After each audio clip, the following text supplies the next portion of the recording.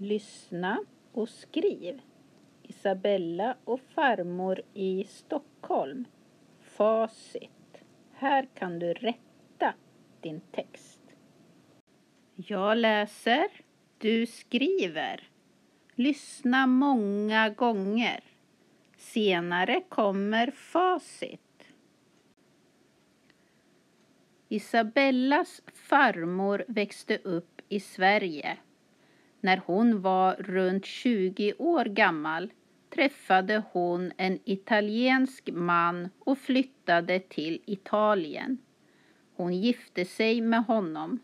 Efter en tid tappade hon kontakten med sin bästa barndomsväninna och hon undrar vad det blev av henne.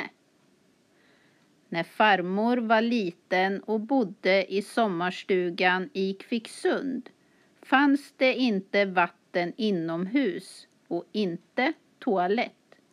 De hade utedass och en vattenpump i trädgården. De hade många bärbuskar också, till exempel vinbär och krusbär. De använde fotogenlampor eftersom de inte hade elektricitet. Det var ett enkelt liv utan bekvämligheter. Här kommer facit. Isabellas farmor växte upp i Sverige. När hon var runt 20 år gammal träffade hon en italiensk man och flyttade till Italien. Hon gifte sig med honom.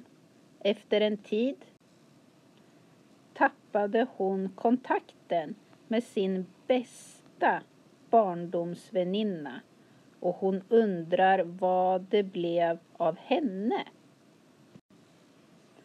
När farmor var liten och bodde i sommarstugan i Kvicksund fanns det inte vatten inomhus och inte toalett. De hade utedass och en vattenpump i trädgården. De hade många bärbuskar också, till exempel vinbär och krusbär.